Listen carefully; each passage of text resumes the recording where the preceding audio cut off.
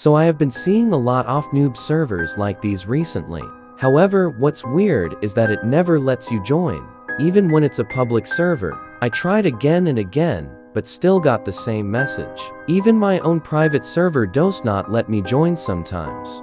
After many more tries, I was finally able to get into a server. The server I joined was from a different region, which was not that unusual. Everything seemed pretty normal. However, when I teleported to the main map, no one was there. I walked around but still saw no one. This was weird because the chat was still very active. So I stayed for a long time, and I finally saw someone. He was definitely a little suspicious.